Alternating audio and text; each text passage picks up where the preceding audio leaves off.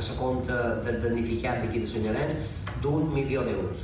Ho ha fet públic el balde de Sant Llorenç. Rafael Nadal donarà un milió d'euros al compte de l'Ajuntament per ajudar els damnificats per la torrentada del passat 9 d'octubre.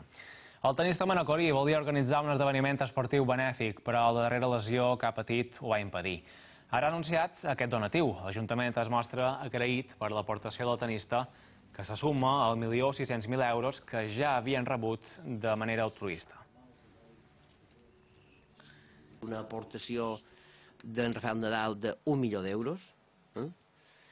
eh, i moltes altres, moltíssimes, en aquests moments ens situaríem en torn dels 2.600.000 euros d'aportacions que totes són voluntaris. Aquestes són en metàl·lic, però també n'hi va moltes que, que van ser a nivell personal i, i a nivell humà. No? I precisament una de les aportacions humanes més significatives va ser la dels aparelladors que de manera voluntària varen inspeccionar més de 600 habitatges després de la torrentada. Avui, més d'un centenar d'aquests professionals han rebut un reconeixement del Col·legi d'Aparelladors de Balears. Són alguns dels aparelladors que treballaren voluntàriament per inspeccionar les cases afectades per la torrentada del Llevant. Avui reben un reconeixement del seu col·legi professional per la seva resposta. En manco de 24 hores hi havia més d'un centenar d'inscrits.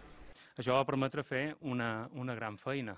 En poc més d'una setmana eh, se va fer una campanya a més de 600 immobles eh, se varen inspeccionar, varen ser inspeccionats i se varen elaborar en el voltant d'unes 450 fitxes tècniques. Hi va haver una gran resposta a tots els companys, a la qual la feina va estar molt repartida i deixava molt assombrat de la resposta que varen tenir els companys de feina. Des de les institucions agraeixen la seva ràpida col·laboració per inspeccionar les cases i certificar els danys materials ho heu fet eh, molt bé i això està permetent també que la resolució dels expedients faci que la gent pugui cobrar les seves ajudes en diligència, que també crec que és just, que estiguin segurs i que tinguin el suport econòmic per poder reconstruir casa seva. És d'agrair que el col·legi ho, ho reconegui, però més d'agrair és que hi hagi la presidenta i sobretot que hi hagi Pal de Sant Llorenç, perquè eh, que hi hagi vengut el Pal de Sant Llorenç ja un, un agraïment més càlid, més humà. Els aparelladors voluntaris també tenen bones paraules pels veïns de Sant Llorenç. Me va emocionar moltíssim les eh, mostres de gratitud que, que tenia la gent d'allà i l'agraïment eh, que ens va mostrar perquè elaboréssim aquesta tasca.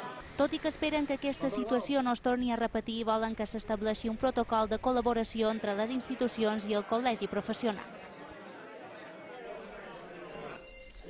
Avui de matí també s'ha retut homenatge al centenar d'arquitectes que de manera voluntària varen participar en les tasques de reconstrucció de les zones afectades. El Col·legi d'Arquitectes de Balears ha promogut aquest reconeixement i ha assistit el conseller de Territori, Marc Pons. Els professionals que han participat a l'acte han recordat la feina feta durant aquells dies i les mostres d'agraïment que reberen per part de les persones afectades.